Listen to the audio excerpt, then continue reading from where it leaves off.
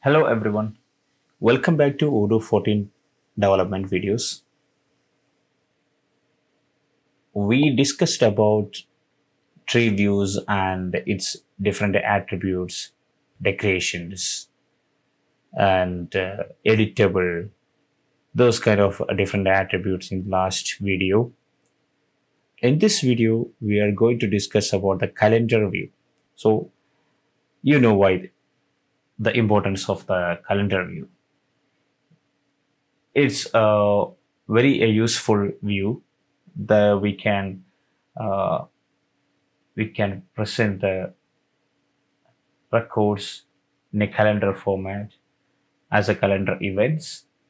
So it is easy to schedule your uh, to view your activities and to do things and everything in a calendar view. So how we can add a calendar view to our, our module or to our uh, business object. That's what we are looking in this video.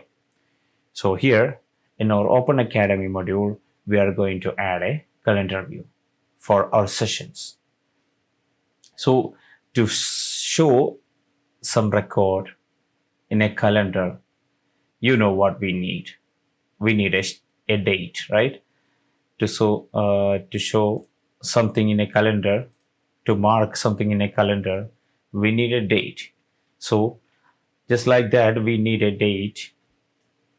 And if you want to mark more than one day we need a end date also. So these things uh, how we can define in an, an object in a calendar uh, for an object, a calendar view for an object. That's what we are uh, going to see. In our Open Academy module, we are going to add calendar view for our session object since we already have a start date for that uh, business object and we have a duration. So what we did is we added a end date field newly to that business object. Now this end date is a compute field. So this get end date function will supply the end date for this uh, object and uh, this inverse function will set whenever we make uh, changes into this end date it will set the other duration and other uh, start date related things uh, to um, into a proper uh, date, into a proper value. So this is our field that will hold the value of the end date and this is our start date and this is the duration that we already have. Now what we need is we need these two functions that I have already added here. Here you can see this we are using the depends decorator start based on uh, depends on the start date and duration. Uh, it will compute the get uh, the end date and it will supply the end date the uh, records end date field. So when when we have the start date and duration uh, it will be start date plus duration. So to get this duration here we uh, you can see the time delta. We are using the time delta to use the time delta, first we have to import that into our uh, models.py file. That's why we added this line here. So from date time, import time delta. That's why we can use the time delta here. Otherwise, it will throw an error.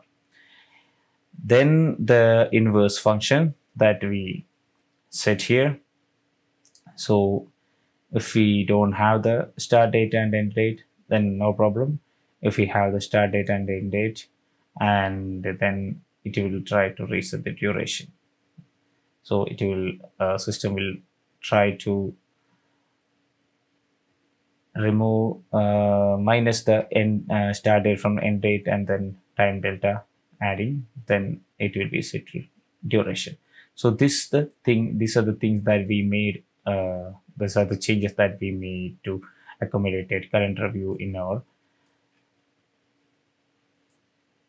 Open Academy session object. So why uh, sorry what what we have to do now is we have to bring that into the, our user interface so in uh, to bring that to our user interface we have to define a view that is here you can see now this is our calendar view. So just like a tree view it's an another record another record under the model IR UI view. And uh, we have to supply a unique ID so here session calendar view. Just like session tree view we give the session calendar view. And the name is session calendar just like the session tree and the model is same open academy session and the architecture. And here instead of the tree view uh, for the tree view we use the tree tag. For the calendar view we use the calendar tag. And then uh, here we our uh, our different attribute that we can use with the calendar view. First we given the string. So session calendar no problem. Then this is the start date so uh, this is the attribute and this is the value. So in your uh, business object it may be uh, first date or something like that. Anything that hold the starting date of uh, that event you can put here. And here we have the date stop. Here just like the start date the ending date whatever the name of that field will be in your case you can put that here. And there is another thing that is called color here. So here we i put the instructor id so what is instructor id instructor id is this color attribute holds the name of the field that we use to that we want to use for color segmentation. So if you want to uh, have the activities in different color based on the person who is assigned, then you can, uh, based on the employee who is assigned, you can put the employee ID. In our case, we have the instructor, so we want our uh, Open Academy sessions in different colors based on the instructor. That's why we put the uh, color attributes value as instructor ID. So this field uh, holds the instructor details. And there are many other uh, attribute. Uh, we will go to that. Uh, first, we can see what are the changes uh, this will bring to our user interface. Before going to that, we have to add the view mode in our action. So this is our action, the sessions uh, action. Uh, it was tree and form before this, uh, before we add this calendar view. Now we have the calendar added in the view mode. Now uh, let's restart the uh, project. Then let's go to the apps. Then yeah okay under the right okay then update. Now under the open academy sessions yeah. So we have total three sessions. These sessions we uh, you can see this uh, calendar view uh, calendar icon is came here. We can click on that. Now you can see our three all three sessions are there and it's in a weekly mode uh, our calendar right now. We can switch that into the monthly mode. Then you can see uh, the session starts from 23rd and ends on 3 and the session 2 starts from 23rd and ends on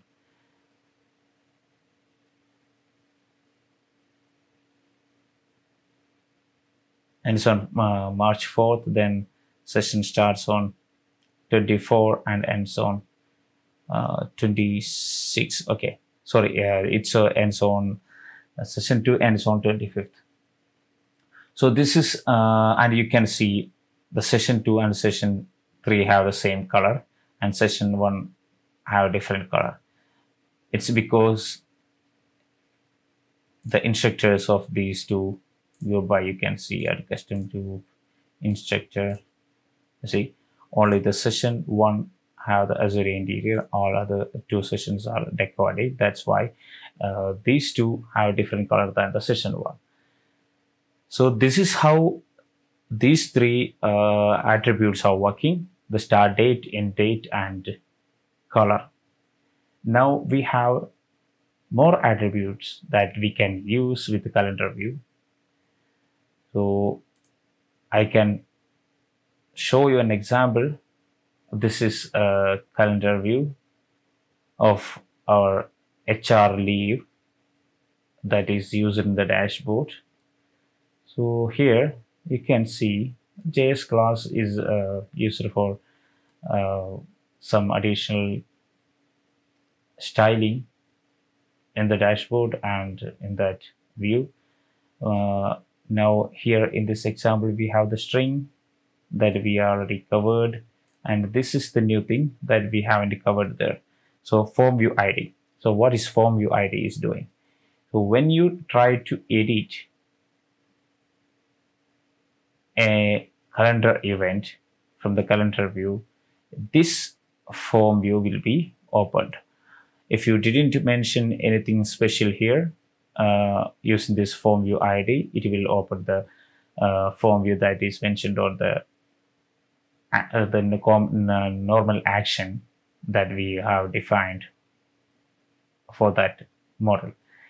And then the event open pop-up attribute, event open pop-up attribute is set to then uh, the calendar will calendar view will open events in a form view dialog box. Otherwise it will open events on a new form view. Okay so that's a current event open pop-up. It's a uh, it will open as a pop-up. Otherwise it will open in a, a normal form view. Then date start you can know you know that. We have just mentioned that. Then date stop. And uh, one thing that uh, we uh, we don't have here is date delay.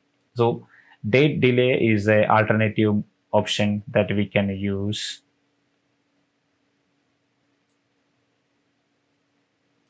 Instead of this date stop we can just put the duration there. Okay so we when we have the date start and a duration you can just uh, give the date start as the date date from and the duration as the date delay. So uh, this is uh, a new uh, another attribute that we can use the date delay and uh, the mode so when we open up uh, open the session calendar view, it was on weekly mode.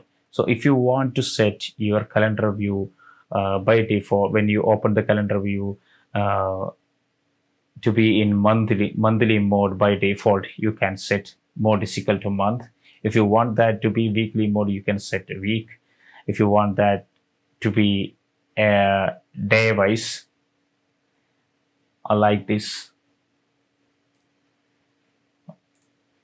in this mode then you can set it as day. If you want that to be yearly then you can set like uh, set here you can provide year then uh, quick add option is uh, set as false. So quick add will only ask for name. If you have uh, many other fields on that event and when you click uh, when the quick add is true it will only ask for date sorry the name of that uh, uh, name for that record. So this option is set as false here and uh, initial delays color is given hide time hide time everything is all day. Then uh, another thing is scales. Scales have the value uh, scale in the scales you can give uh, different list like uh, sorry uh, comma separated details. Uh, it have the same values of the modes day week month and year so if you want to if you don't want uh, your calendar review uh, the year mode then you can uh, set scales. Is equal to day week month. Let's try. Let's go to our open academy sorry uh, to the apps then update. Everything works fine. Sessions. Yeah. It didn't work. Oh we sit on hr okay. So we put that on wrong place let's put in our open academy.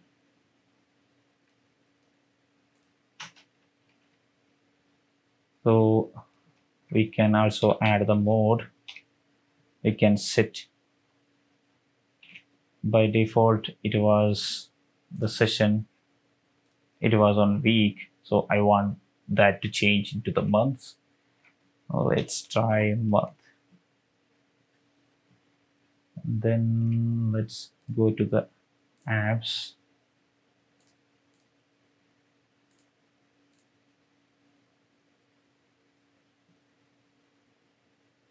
Open academy sessions calendar.